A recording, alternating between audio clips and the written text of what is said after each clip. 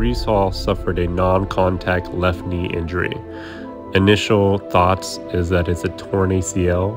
Being able to push off and cut on an unstable surface can reduce ACL injuries.